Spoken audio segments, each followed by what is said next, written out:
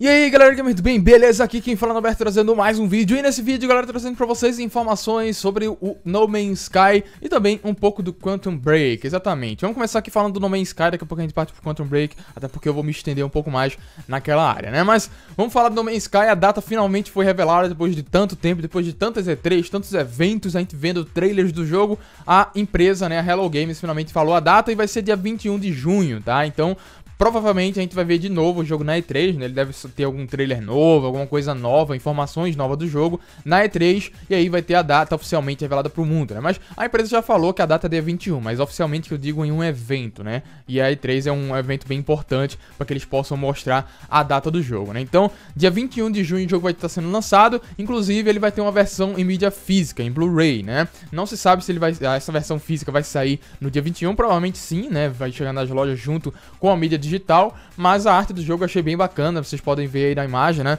Ela é bem bonita, cara. Achei bem diferente do que tem sido mostrado ultimamente, né? Bem diferente assim. Não mostra só o nome No Man's Sky, um planeta e beleza, sabe? Ela tá tem uma pessoa ali, vários animais. Achei realmente bem bonita e sei lá, talvez eu queira ter a capa só por causa dessa imagem. Achei bem bacana, mas enfim, tá aí, tá? Essas são as informações de No Man's Sky sendo lançado no dia 21 de julho finalmente, mano. tô muito ansioso para jogar esse jogo. Mas agora vamos falar do Quantum Break. Vamos partir pro outro lado, pra parte verde da parada, que é mais polêmica, cara. Sinceramente, eu odeio dar esse tipo de notícia aqui, porque Quantum Break, ele vai ser obrigatório você ter conexão com a internet. Exatamente, assim como foi o Need for Speed, esse jogo também vai ter essa conexão. Só que a desculpa da Microsoft e da Remedy foi ridícula, cara. Eu, sinceramente, acho esse tipo de desculpa para ter conexão uma coisa patética das empresas. Não só pelo, por parte da, da EA também, na época do Need for Speed, né? Ah, a gente quer que os jogadores fiquem com conexão, a gente quer que os jogadores façam isso e aquilo, a gente precisa ter conexão para que os servidores fazem, para que o jogador faça... Cara, é, é uma enrolação que eles falam. Eu realmente acho ridículo. E de novo, a gente tem um outro caso que vem uh, com, essa, com essa desculpa patética, né? A Remedy e a Microsoft disseram que o jogo vai, requer, vai requerer conexão constante porque eles não conseguiram colocar as cutscenes do jogo todas dentro do disco. Olha só, coitado deles, né?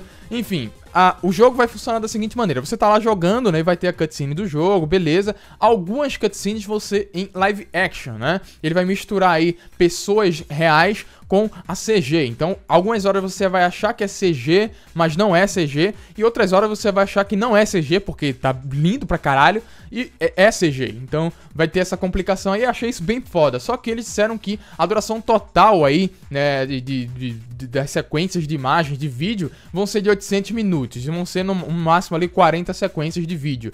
Só que nem todas cabem no disco. Então, eles tiveram que criar um servidor online, né, e quando você estiver jogando que for para essa cutscene, meio que você vai baixar esse vídeo via streaming e vai assistir. Então, algumas cutscenes do jogo vão ser via streaming.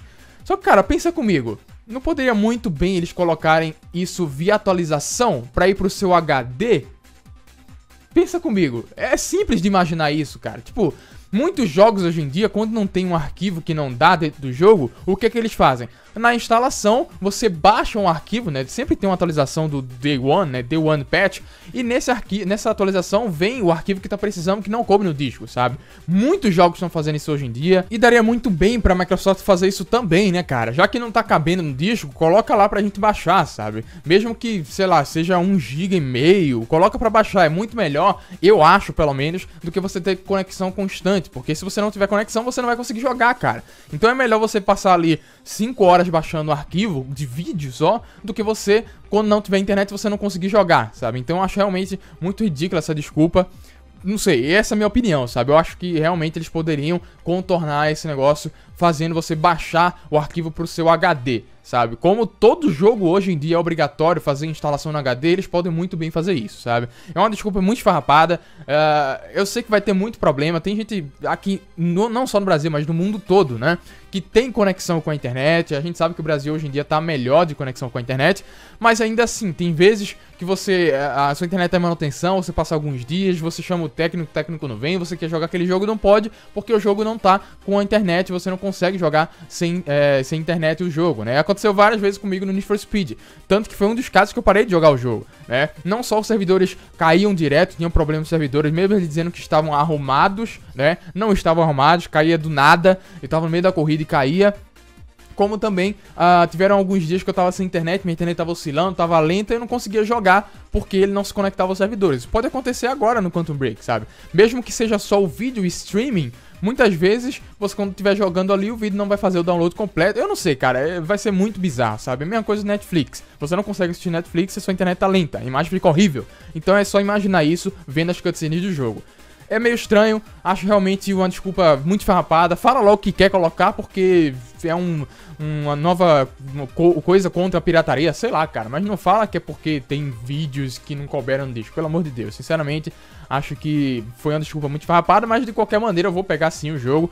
Foi o jogo que me fez comprar o Xbox One, né? Quantum Break, o jogo que eu tô aguardando há anos, desde que ele foi anunciado. E com certeza eu vou jogar, mas realmente achei isso meio ridículo, né? Eu espero que não tenha problema de servidor, como teve no Need for Speed e outros jogos que são conexões obrigatórias.